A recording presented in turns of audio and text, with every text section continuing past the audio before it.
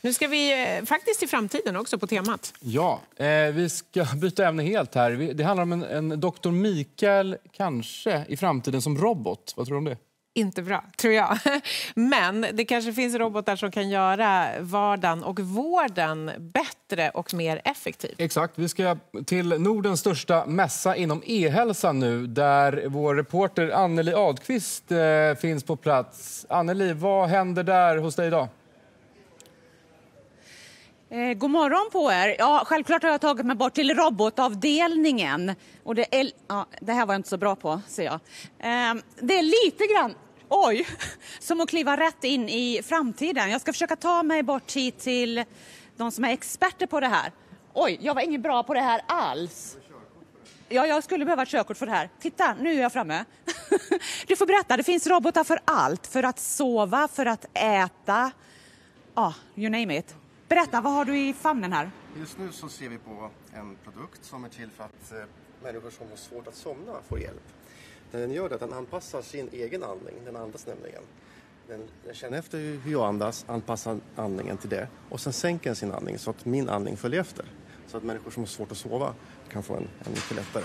Det kan jag tänka mig är fantastiskt bra för väldigt många människor. Det är inte bara äldre personer vi pratar om här. Absolut, jag skulle gärna ha en sån här själv. Du, den här katten här då, vad är det för något? Det är ett eh, verktyg som, som har gjorts, utvecklas tillsammans med demensexperter som är till för att, att lugna och behandla patienter med demens.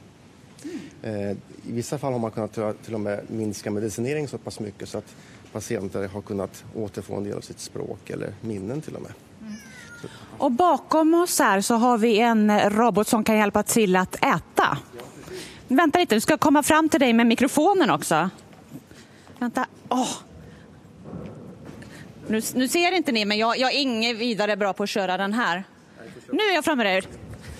Jo, det är så här att om man inte har händer eh, så blir det svårt att äta själv. Det finns många människor i Sverige som blir matade av andra och det är ett ganska stort integritetsproblem eh, eh, att kunna bli, behöva bli matad av andra.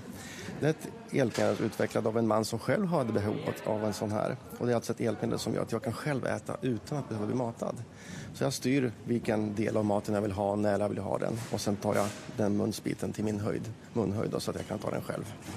Maria, hur, hur mycket av det här är verklighet idag och hur, kommer, hur mycket kommer det att bli det framöver? Eh, ja, de allra flesta av lösningarna här är redan implementerade, eller de är redan eh, i bruk, men de är väldigt Eh, det skiljer sig åt i landet hur väl implementerade de är. Så jag tror att i vissa kommuner har man kommit väldigt långt, det finns mycket hjälpmedel och i andra kommuner så har man en längre resa att gå. Eh, och det gäller egentligen hela Vitalis. Det, vi visar mycket lösningar som är i bruk men olika långt i olika delar. Och naturligtvis är mässan till för att eh, man ska få reda på vad som finns i andra delar av landet och andra delar av världen så att vi kan utvecklas överallt. Precis, till dela varandras goda exempel och kunna plocka hem bra idéer från andra ställen och implementera dem lokalt. Tack så jättemycket. Mässan här pågår fram till på torsdag. Tilde och eh, Sebastian, det är en helt ny värld som väntar oss framöver. Vi får träna lite på det där med att åka runt på den där Anneli. Bra jobbat dock. Bra kämpat, ja. det får man ju ändå ja. säga. Ja, vad spännande. Det ja. finns nog mycket intressant som man kan lära sig av den där mässan.